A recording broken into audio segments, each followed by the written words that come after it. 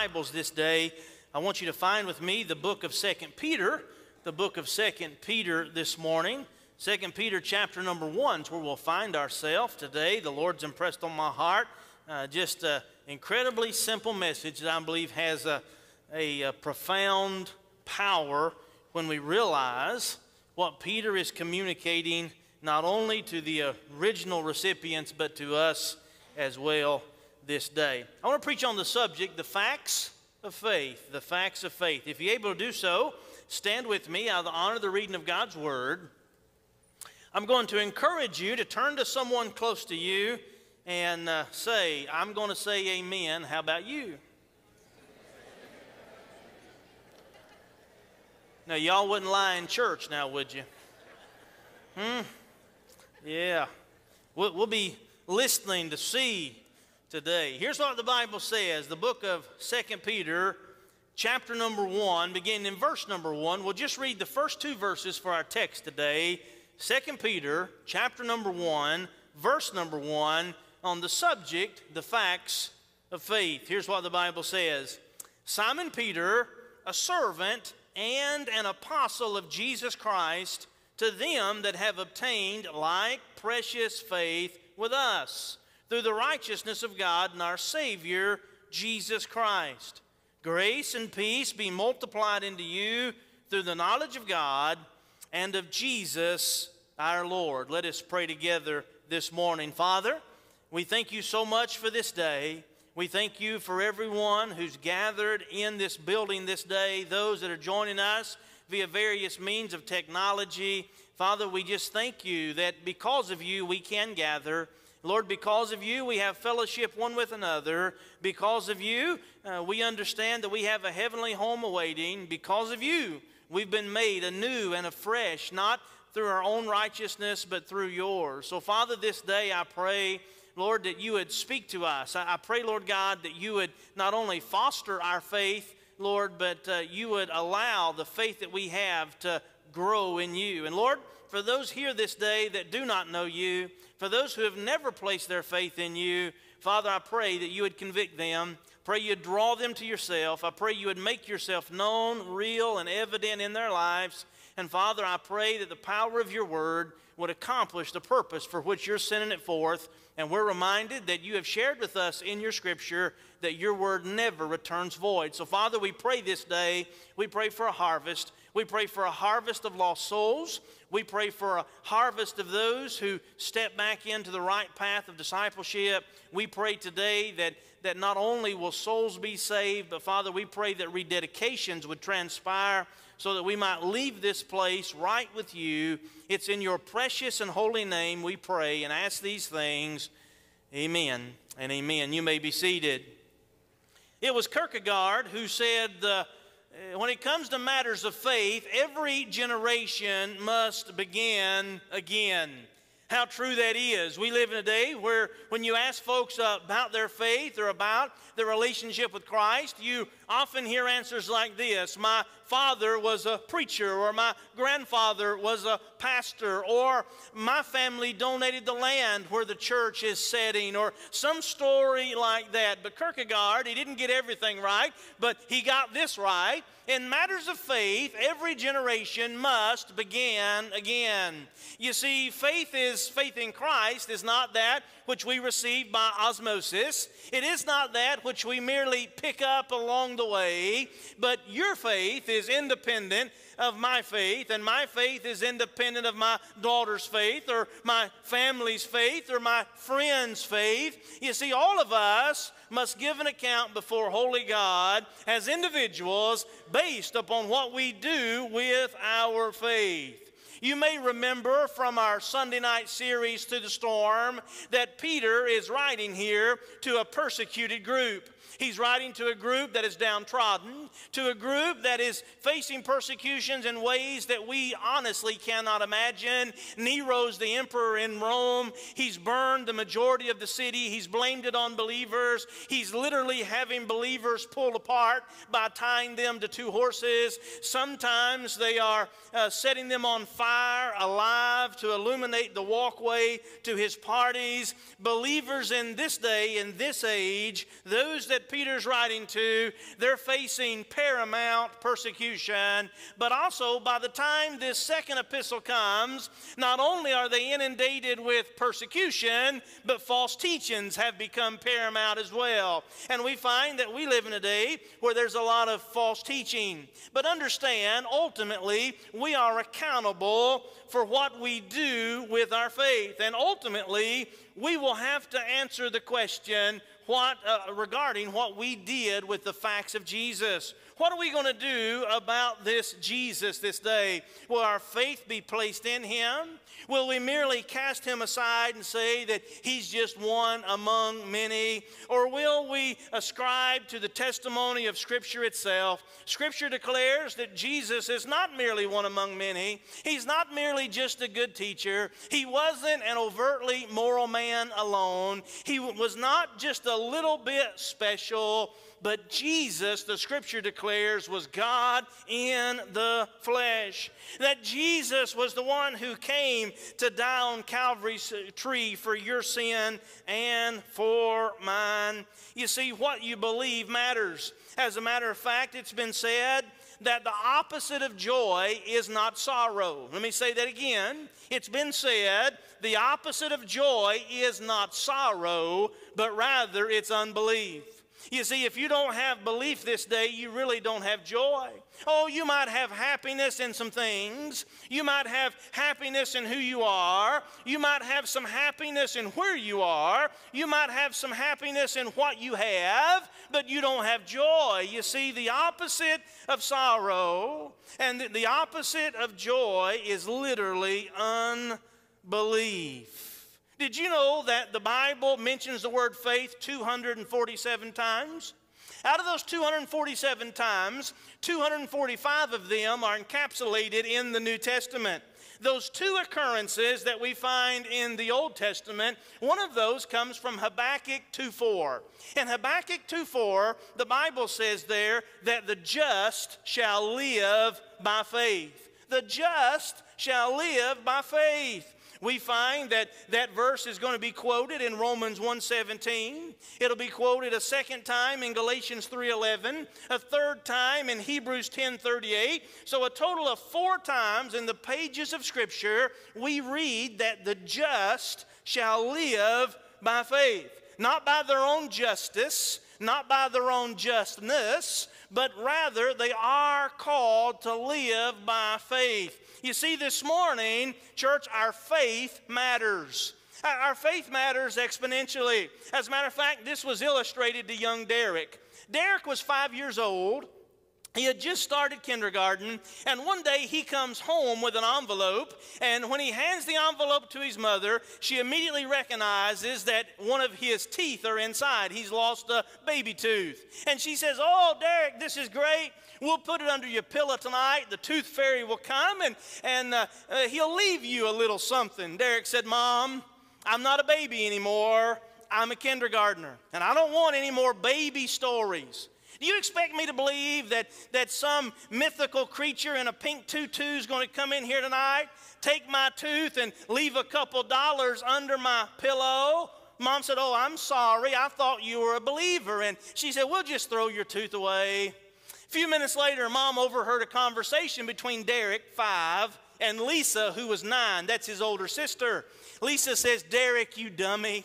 She said, Do you realize how much money I've got from the tooth fairy through the years? A matter of fact, Derek, you remember that Barbie doll I bought just last week? I got that from Tooth Fairy money. She said, You was just saying you wanted that new Star Wars toy. Uh, do you realize what you're going to miss out on by not believing in the Tooth Fairy? Derek run out of his room. He said, Mom, Mom, Mom, hey, you know about that Tooth Fairy? He said, uh, he said, I forgot. I thought you were talking about, you know, one of those fairies like in the Wizard of Oz. I don't believe in those kind of fairies, Mom, but I believe in the Tooth Fairy. Hold on on to that tooth.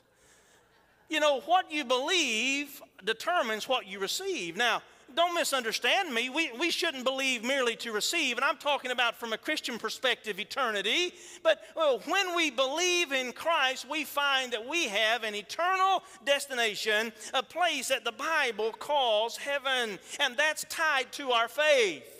Some of you may be asking, well, what does faith mean? Well, the book of Hebrews gives us the definition of faith. In Hebrews 11:1, 1, we read this. Now, faith is the substance of things hoped for. It is the evidence of things not seen. So notice, faith is the substance of things hoped for. It's the evidence of things not seen. Faith uh, is based upon that which cannot be crunched as empirical data.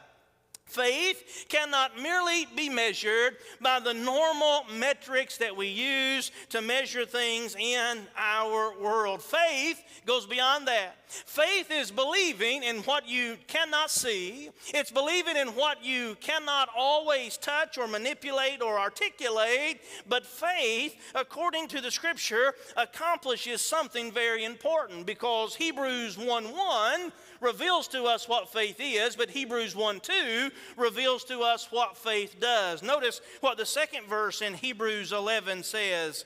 We read there, for by it the elders obtained a good report. So we find that faith is the, the substance of things hoped for, it's the evidence of things not seen, and we find that faith enables us to receive and to obtain a good report. I don't have to convince you that life is coming to an end. I don't have to convince you that life is moving quickly.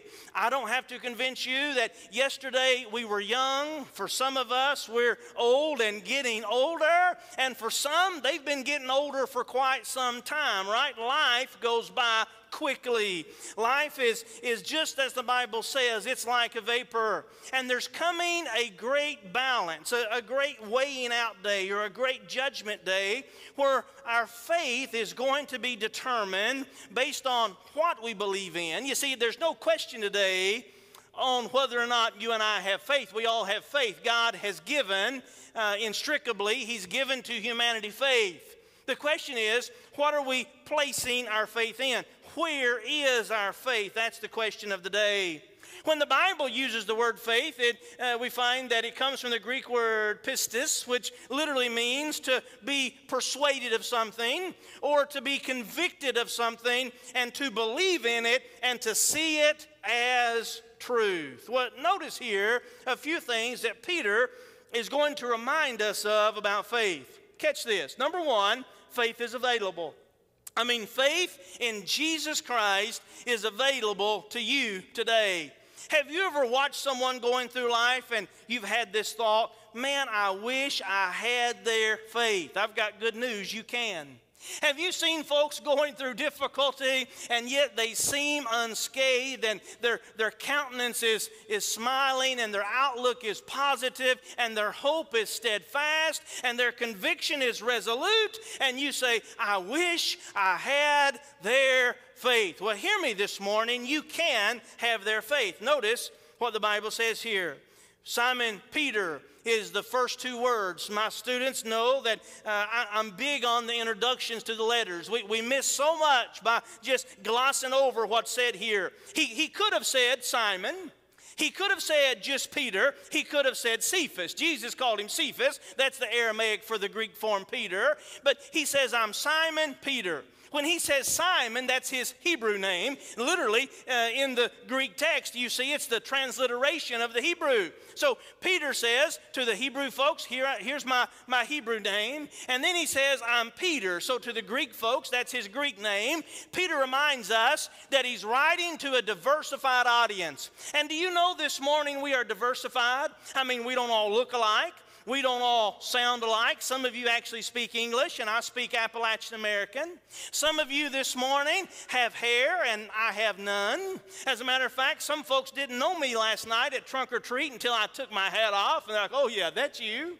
You know, uh, some of us are, are fuller in the hair and thinner in the body. As a matter of fact, I was preaching revival not too long ago, and I had been there a few times before. One lady come to me and she said, uh, I don't remember you being here. I don't recognize you. And we got to talking about it, and we determined the issue was it had been five or six years, and the last time I was there, my head was fuller and my body was thinner. And uh, when I come this time, my body was fuller and my head's thinner. Are you, you tracking with me? We, we have diversity. As a matter of fact, some folks this morning, I, I was threatened, don't say Georgia lost again because they didn't lose. And, you know, I want Georgia to lose. We're, we're diversified in, in those that we pull for. We're, we're diversified in, in a, a myriad of ways. But here, when Peter writes to this diversified audience, he's going to bring them together on one point. And the point is faith matters Faith matters. Can we say that this morning? Say that to me. Faith matters. All right, faith matters. And we find that faith is available. He starts out Simon Peter, a servant and an apostle of Jesus Christ. Peter first says, I am a servant, literally a doulos here, a, a bondservant of Christ, and he is an apostle. So he says, I've been called and I've been sent. Now, notice what he says next to them that have obtained. Do you see that? Peter's writing, and he says, To them that have obtained. What have they obtained? They've obtained faith. And we find that because faith is obtainable, it's obtainable because God has given us a measure of faith. The Apostle Paul uh, describes this in Romans 12 3 when he writes this For I say, through the grace given unto me, to every man that is among you, not to think of himself more highly than he ought to think. Now, catch that. Not to think of himself more highly than he ought to think, but to think soberly, according as God hath dealt to every man the measure of faith. Do you see it? That's the article there, the, the measure of faith. God, in His sovereignty, has given to mankind a measure of faith and you have free will what you do with your faith. Many of us, we put our faith in ourselves or in our situation or in the, uh, the facade of securities that we think that we have. But listen to me, there's coming a day when you can no longer rely on yourself. And there'll probably be a day that, that your situation is not as it is today, and there'll be a day that, uh, that your securities can leave you very quickly. You know what I'm talking about. You don't have to go back too far in your memory. Many of you can remember just a decade or two ago, you could go into a grocery store and for $50 you couldn't carry out everything that you would buy. Today you go in the same grocery store and for $200 you'll carry it out in just a handful of bags. Am I telling you the truth? You see, securities are not always what we think that they are. We have faith. Every man has been given a measure of faith, and true faith in Christ is available. But you and I have a responsibility to exercise our faith, to literally put it to work. Not only does Peter remind us here that faith is available, but look with me, secondly. Peter's going to remind us that faith is valuable. Look what he says in the text. To them that have obtained what? Like precious faith. Do you see it? Like precious faith. The, the words here, like precious, comes from one Greek, the, the Greek word isotimos. It, it literally means of equal value. Now, catch this. Don't get lost in the language for a second, but catch this. It was used in the first century to denote someone who was an immigrant who had immigrated from a foreign country into their current country, and it, their, their citizenship was called isotimos. It means just as good. Hear me this morning. When it comes to a, a relationship in Jesus Christ, all of us are immigrants. All of us were born separated from God by our sin. All of us this morning uh, that have been born again, we've been rescued by the marvelous grace of God. And here the Apostle Peter says that their faith, these discouraged, these downtrodden, these scattered believers. He says, Your faith is just like my faith. That means something to me this morning. You see, I don't often think I have the faith of Peter. Do you? I mean, yeah, we, we see Peter's failure. And then we see Peter's restoration. And then we see Peter stand up on the day of Pentecost, and 3,000 are saved. But when we follow the historical line of Peter, we find that he ends up being martyred for his faith. And when his life is about to be taken from him, Peter's last request was, Crucify me upside down because I'm not worthy to die in the same manner as my Lord. And Peter was crucified upside down as a result of that. This same Peter, he says, Your faith is just like my faith. As I read in the pages of Scripture, uh, oftentimes we find these heroes of our faith. And yes, we see their failures because they were just men, just like you and I, flesh and blood. But we also see that they had great faith. And listen to me, that's why every biblical writer, every New Testament biblical writer was martyred save one. The only one that wasn't martyred was John. And you remember John was dipped in a vat of hot boiling oil, fried alive by the emperor Domitian, and then he was exiled on the Isle of Patmos. The only reason he wasn't martyred is because he lived through it. You say, well, how could they hold their faith in the midst of that? Well, faith is valuable. Faith is valuable this morning. He, he calls it here this like precious faith. Let me show you why your faith is so important. If we look in Luke chapter 5 and verse 20, we hear Jesus say this And when he saw their faith, catch it now, when he saw their faith, he said unto him, Man, thy sins are forgiven thee. You see, sometimes you think your faith only matters to you. But do you understand that what you do with your faith is going to affect your children? It'll affect your grandchildren. It will affect your neighbors. It will affect your community. It will affect your church. Now, there's some theological wranglings here that we don't have time to untangle, but understand this. These four that brought this man to Jesus, Jesus understood their faith. They had faith or they never would have brought the man to him. Now, obviously, this man had faith in and of himself because no one's going to be saved on someone else's faith. But this man had the opportunity to place his faith in Christ because these four brought him to the Lord. Oh, wouldn't it be marvelous if over the course of a year, if every four of us in here brought one more? I mean, if, if it was just a four to one, if every four would bring one, can you imagine what the church would look like, what the church would be like over the course of a few years? Your faith matters, it is valuable. Peter says it is like precious faith. It is valuable this morning. But look in Ephesians chapter 2 and verse 8. The Apostle Paul, writing here to the church at Ephesus, he says, For by grace are you saved through faith, and that not of yourselves, it is the gift of God. For by grace are you saved through what? Through faith. You see, faith is the vehicle that will take you to grace. Jesus died for you and for me as individuals. And Jesus requires that we place our faith as individuals on Him and in His substitutionary sacrifice. Oh my, our faith is valuable. And because our faith is valuable, we need to nurture it. Because our faith is valuable, we need to guard it. We need to take care of it. I've shared this before on a Sunday night, but through the years, many times, I've seen babies passed around. You know, when, when mom has the first one, that first one, a lot of times, first one's not going to the nursery. You know, she's staying with mama. Over the course of a few weeks, mama laxes a little bit and, and they'll start to pass her. You ever seen a baby being passed in church? There's been many times I've thought, I want to hold the baby. I can preach and hold the baby too. Just one hand I hold. I hold the baby and preach, but no one's ever handed me the baby. But you know what I've never seen? I've never seen the baby pass like this. Hey, you, you want to hold her? You ever seen that? Hey, you, you, you want to hold him? No, we don't do it like that, do we? Because the baby is precious. We don't do that because the baby is fragile. We don't do that because of the value of the baby. Listen to me. When Peter says that our faith is valuable, we ought to nurture it like we do a newborn. We ought to safeguard it like we do a newborn. We ought to understand that our faith is often fragile, and we see that our faith is important. But look here, thirdly.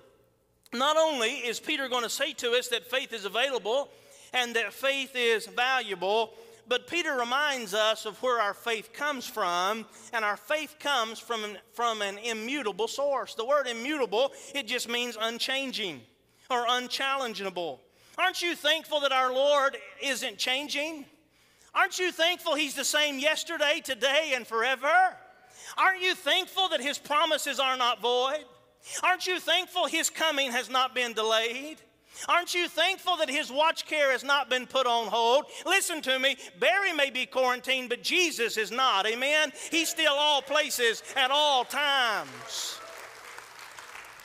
We may be battling a pandemic and, and worried about COVID and germs, but Jesus is still the, the answer. He's still the antidote for sin. Jesus is still the same yesterday, today, and forever. And that's where our faith comes from. You see, you, you may not agree with me this morning. That, that's okay. You, you may not agree with me that man's fearfully and wonderfully made. You may think that we're a cosmic accident. Now, you'd be wrong.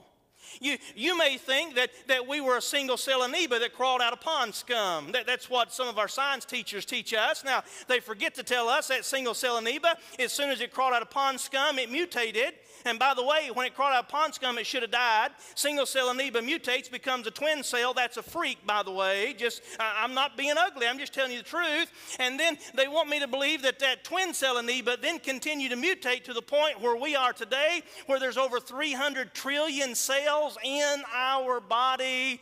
I don't have enough faith to believe that. I just don't. I, but listen to me, I'm not picking on you if you do. I disagree, but I'm, I'm not picking on you. But here's what I would say regardless of what you believe about the origin of man, and don't misunderstand me, that is important, but regardless of what you believe about the origin of man, you have to agree that we have faith. Now, we might not all have our faith placed in the same thing, but God has inextricably given us faith. We, we have the, the opportunity for faith. And we put our faith in a myriad of things. Where does that come from? It comes from God. It comes from him. Look at what he says here at the end of this verse. He goes on and he says that he's writing to them that have obtained like precious faith with us through the righteousness of God and our Savior Jesus Christ. Now, don't miss this in this little introduction. I, I, get so frustrated. Folks just read through this and they miss it. One of the most important Christological passages in the New Testament is right here. Right here, Peter says Jesus is not one among many, but Peter says Jesus is God. He says Jesus and God the Father, they are one. They're of the same. They're on a parallel plane. Jesus is not a, a God with a little g, but he's God here. Peter makes that clear and Peter is reminding us of where our faith comes from.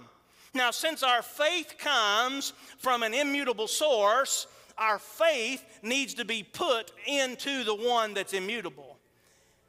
You see, you and I change. So remember, what, what do we often put our faith in? Self, situation, and securities. Self changes. Changes. There was a day that I, that uh, I played linebacker, a day that I played basketball, a, a, day that, that I was involved in many things that I'm not physically capable of being involved in today. Self changes. Situations change. You understand that. And we find that our securities often change and that they can become depleted and they can become insufficient. And we often find ourselves deficient. But because our faith comes from an immutable source, our faith needs to be placed in one that's immutable, in one that does not change. Look at the, the word obtained. Look back at that in your verse. It's the Greek word lanchano. It, it literally means to receive directly. You see, this faith that Peter's talking about, these folks didn't just merely run into it, it didn't just pop in their brain, uh, they did not inherit it, but rather they received it directly. And if you want to receive the faith this morning, the faith that Peter has, if you want your citizenship to be secured in heaven, the same citizenship that Peter has, the same citizenship that believers have, then it's imperative that you put your faith in Jesus Christ. Not in your works, not in your baptism. Did you know? In a recent study among evangelicals, 74% of evangelicals surveyed said they believe that their good works aided their faith. In a recent study that I just conducted personally and published the paper as a result, over 30% of Bible college students, Baptist Bible college students, declared they believe that their good works aided in the process of faith. There's a Greek word for that, it's baloney. It's not, not true. You see, our faith is a result of good works. And I mean, let me say it again our faith produces good works, but our good works doesn't produce faith. Let me clear that, that up. Our good works do not produce faith. Our good works should be a result of our faith. And yes, part of our, our works, it's going to be noticeable. I'm going to say that in just a second. But notice what Paul says in Romans 3:22. He said, "Even the righteousness of God, even the righteousness of God, which is by faith of Jesus Christ, unto all and upon all them that believe, for there is no difference. There is no difference." Some of us want to circumvent the system. We think that, you know, that, that maybe, maybe if we just are good people, if, we're, if we try to be moral, or, or you know, we, we do more good than bad, somehow we have this idea this karma thing is going to balance out. But karma is not a biblical concept. You see, the Bible teaches we must repent and believe. The Bible teaches that Jesus is the only way. So here, Peter reminds us our faith has to be placed in Jesus as our Savior. But then, lastly, this morning, not only does Peter remind us in the facts of faith that faith is available, and that faith is valuable, and that faith is from an immutable source, and as a result, it should be placed in one that's immutable, and that's only God. But lastly, Peter reminds us that faith is noticeable. True faith will be noticeable. Look what he says in verse 2 Grace and peace be multiplied into you through the knowledge of God and of Jesus our Lord. Now, catch this. At the end of verse 1, Peter declares that Jesus is the Savior. At the end of verse 2, Peter declares that Jesus is Lord. Jesus must be Lord and Savior of your life and mine. You see, Jesus is, is not merely Savior, and then we do whatever, live however, no, no conviction, no change. Listen, that's not biblical salvation. As a matter of fact, the, the Bible warns us gravely about that type of faith and, and living it out in that way. As a matter of fact, many of us pray for our lost children, our lost friends, our lost family, and we pray for them like this Lord, will you bring them back to you? I know they made a decision when they were six, or when they were seven, or when they were 11, or when they were 17, or when they were 47, and they've lived like the devil ever since. There's never been a desire for God's word, never a desire for God's work, never a desire desire for the things of God. And, and we, we pray, Lord, bring them home when we ought to be praying, Lord, shake them. Lord, save them. Lord, redeem them. Lord, give them true faith in you. I, I know that's not popular preaching, but we're going to be surprised when we get to heaven and all these folks that signed a card and was ducked in a baptistry and we never found them again, we're going to be surprised that that's not the type of faith the Bible's talking about. You see, the Bible talks about a transformed life. We, we don't have to live that way anymore. We don't have to think that way anymore. Literally, being born again not only changes your eternal destination, it changes your mind. And when you and I don't think in a way that's according to the scripture, guess what? It's indicative that the work of the Word of God is not transpiring in our lives. Faith, this type of faith is noticeable. Now, where was I? I got carried away for a minute. Grace and peace. Some folks said they liked the background. Well, here's the, the background grace was the Greek greeting. The common Greek greeting was grace. The common Hebrew greeting was peace. Now, here it's eirene, but it's, it comes from the, the Hebrew shalom. Shalom was a specific kind of peace. When the Hebrews would say to one another, Shalom, Shalom, what they meant was, you have the peace of God because you're at peace with God. Now, while this is used numerous times in the New Testament epistles, grace and peace, do you know what you never find? You never find that peace precedes grace. Grace always precedes peace. You see, you'll never have the peace of God until you're at peace with God, and you'll never be at peace with God outside of the grace of God. Does that make sense? So here's what Peter says grace and peace be multiplied unto you through the knowledge of God and of Jesus our Lord. So, uh, catch this again now. Peter says he's our Savior in one, he's our Lord in two. We, we need both. And then Peter says that faith is going to be noticeable genuine faith, true faith, saving faith. It's going to be noticeable. Here's why. He says this is multiplied through the knowledge of God. Mark that word knowledge. It's the, the Greek word epignosis. Literally, this word means that it's knowledge you have received because you've worked from you've worked for it. Now, if you're any younger than, than me, you're not going to get this. So just hold on. Let me give you a history lesson. If you're younger than me, hold on. I'll give you a history lesson. There was a day when, when we wanted to know something, we did not pick up a device and click on Google. Shake your head this way. How many of you remember asking a teacher, How do you spell such and such? And she'd say, Go get a dictionary. How many of you, like me, thought if I knew how, I, not, I got to know how to spell it to look it up. If I knew how to spell it, I wouldn't be asking. How many of you, yeah? yeah. But you know what they were doing? They were teaching us how to spell it. And we, we would go, actually, I know this is archaic for some of you, but if there wasn't one in the room, we'd say, Can I have a hall pass to go down the library? And you go down there and you go in there and you say, I need a dictionary. And you get a dictionary and you pull that thing out and you flip over and you find, I mean, it's a process, right? And when you figure it out, you're like, oh, okay, that's how you spell. And listen, I'm not a great speller, but we learned to spell because that was a labor intensive process, right? There was something else. There was not Wikipedia. Oh, I, I, I, write on papers all semester. Wikipedia is not a scholarly source. Wikipedia is not a scholar. Don't use Wikipedia. Don't footnote Wikipedia in the paper you turn in. I write that all the time. But there was a day before Wikipedia. We couldn't go to Google. You remember what we would do? We'd go to an encyclopedia. Those things really existed. I mean, a wall full of them. And you would have to know the, the letter that the subject uh, that you're wanting to study started with, you pull it out. And many of you, you know what I'm talking about. I'm not just milk, milking this. And some of you say, hurry up, move on. Well, you know, I spent my childhood here. and you, you find this subject, and you read the paragraph, and then it would say, see also some other subject. You're like, are you kidding me? Go back, put that baby on the shelf, pull out it. You, you, you know what I'm talking about. Now, guys, that's what we used to call research. And you know how we found those books? There wasn't an electronic database. We went to a thing called a card catalog, pulled that thing out, and we, you, you know what I'm talking about. Well, when you learn, to, and listen, I, am thankful for Google. Google's smartest person I know. I, I'm thankful.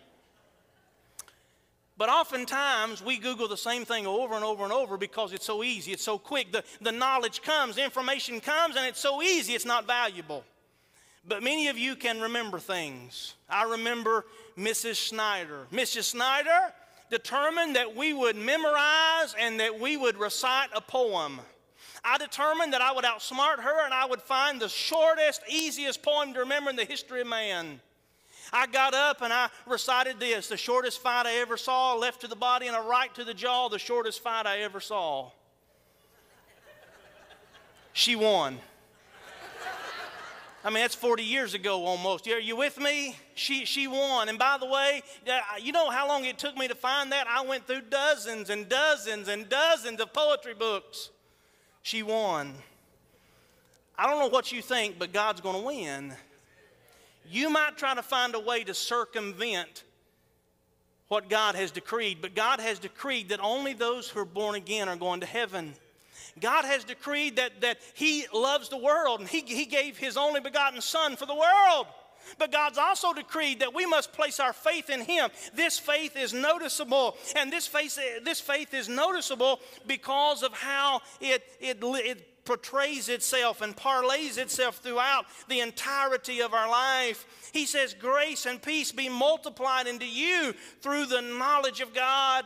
You see, the knowledge of God, it's that which we're, we're an active participant. That's what epignosis means. It means an active learner, one who's actively engaging in the pursuit of the knowledge and the admonition of the Lord. I want to know more about my Lord. How many of you remember that old song? Oh, I want to know more.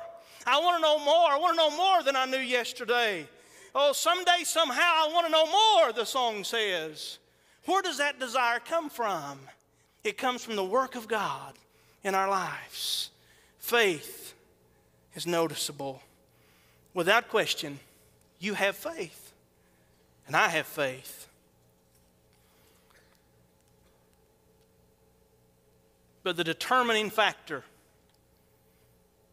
the determining factor when everything is pulled away is where is our faith placed?